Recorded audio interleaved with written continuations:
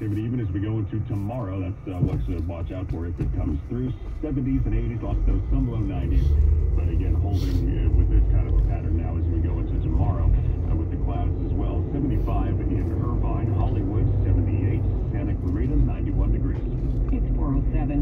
One health department in Southern California confirmed that they're seeing double the number of cases of an ailment associated with unclean pets. It's not a disease we hear much about, typhus, but it's on the rise in the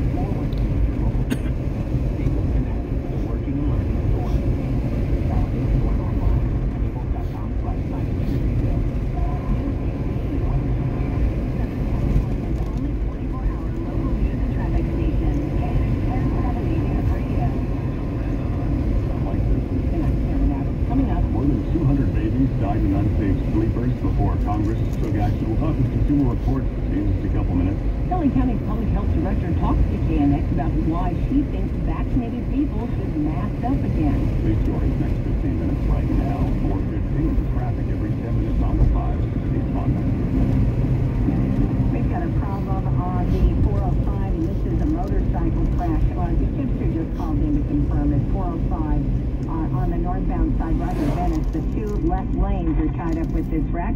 Uh, so heads up, we've had a number of crashes on the 405 in the Culver City area. So I predict it's going to be a slow drive this afternoon with these wrecks. Then on the 605 northbound in Whittier, just past Beverly Boulevard, uh, new rough reported uh, right shoulder of the roadway, so cleared out already. West LA, uh, trouble and slow traffic. 10 eastbound, this is just past Overland. Uh, we've got a truck and a car in a wreck, and this happened out in the left lane. Uh, traffic is backed up almost into Santa Monica now on that eastbound side of the 10. We're going to head back to Brian, get an update on that problem in Lynwood, 105 Jam Cam. East 105 for Long Beach Boulevard, into a crash, looks like it's in flat at 2.6.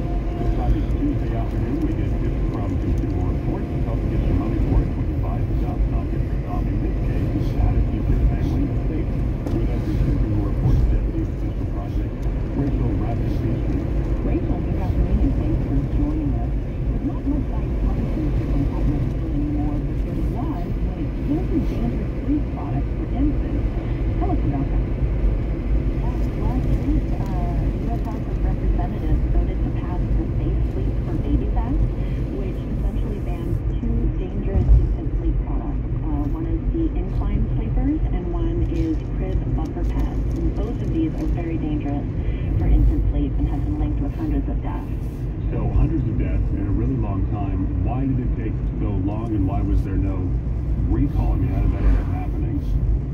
Right. Well, regarding incline sleepers, there was a recall in 2019, um, actually after Consumer Reports helped to uncover dozens of infant fatalities linked to incline sleepers. Products like the Fisher Price Rock and Play sleeper, the Kids 2 Rocking Incline sleeper. Uh, but these fatalities were not made public until essentially we reported on them. So the recall didn't happen until public awareness became a reality. And several children have died as a result before that came about. And you also talked to some families who lost children, you know, from these sleepers. What do they tell you? Well, obviously, it is a devastating tragedy, but um, the progress that we're seeing now is, you know, uh, they're heartened by this progress. Uh, uh, many of the parents tell me, especially in working toward change and advocating for change and creating awareness about these dangerous products, they tell me that they don't want their babies to have died in vain. And so when they see this progress, that is gratifying. It kind of just boggles the mind. I mean, like you said, you guys were on the forefront of the, the Fisher Price and some of this reporting. So, what do we know about how these actually came to be? I mean, was there testing done that was needed when you designed something for a baby, or did you design something that fits the baby? You know, and then and then hope it works because that's not the way you should be doing something with an infant. Exactly. Well, that was the big problem with incline sleepers, which is that the products were put on the market without any safety testing having having been done to show that they were safe for infant sleep. And more than that, they actually went against long-standing safe sleep recommendations from the American Academy of Pediatrics.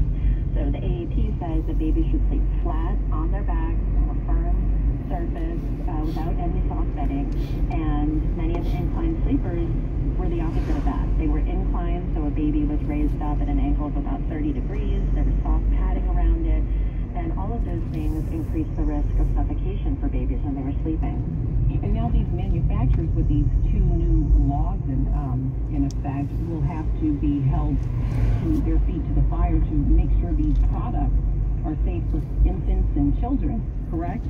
Exactly. Now manufacturers will, will, you know, if this law goes through, manufacturers would not be able to sell uh, incline sleepers or crib bumpers. Uh, and any sleep product would have to adhere to a safety standard that is, is in place for cribs, bassinets or cradles, play yards, or bedside sleepers. Those products are safe for babies to use. Those have been vetted. Those have been safety tested. Uh, so manufacturers wouldn't be able to sell a product unless it adhered to one of those standards. There's also something else, the Sturdy Act, right? That's, uh, furniture that's tipping over, and I think this is maybe more of a common problem than people think. It's at least like a couple kids a month, right? Still. Right. Yeah, it, it seems like something um, that wouldn't be that much of risk. Your furniture seemingly stable standing in your in your home, but it actually um, leads to one or two children dying per month, um, thousands of children going to the emergency department when you know someone is just interacting with furniture in a real world way, the way you might open up drawers. Um, but when you open up drawers, in particular on dressers, it shifts the center of gravity of the piece of furniture and causes it to tip over, and, and this can be extremely dangerous. What can parents do to protect, you know, their kids Furniture? Well, great question. Uh, you definitely want to anchor your furniture uh, to the wall. Make sure that it's attached to a stud so that when children pull on drawers or climb on, uh, you know, a bookshelf, that the furniture doesn't tip over onto them. But um, one of the uh, the safety bills that was passed was this Sturdy Act in the in the House, and that would require that furniture has stronger standards, mandatory standards, so that the furniture itself is safer. Um, so hopefully, you know, it won't be up to parents when they get new pieces of furniture in, in the future to make sure that it's safe, that, that the furniture should already be safe. Rachel Rabkin Peachman, Consumer Reports Deputy of Special Projects. Uh, Rachel, thanks. Consumer Reports, 4.15 each Tuesday afternoon, this time tomorrow. We're talking tech. Let's get a check of your money. Here's Tracy Johnke. Facebook has revealed a platform for people who have a lot more to say their Facebook followers. The newsletter service called Bulletin, and Mark Zuckerberg says newsletter writers can charge for subscriptions if they want. Facebook won't take a cut of the paid subscriptions for a couple more years. Sportscaster Erin Andrews and author Mitch Albom have signed on. Amazon is trying to boost its podcast platform with some star power, buying exclusive rights to Smartless, a podcast hosted by actors Will Arnett, Jason Bateman, and Sean Hayes. And the rapper Pitbull is using his platform to promote a Peloton rival. Pitbull will help design an Echelon bike that's to be named for him. And he will write and produce a song about the Echelon brand for his upcoming album.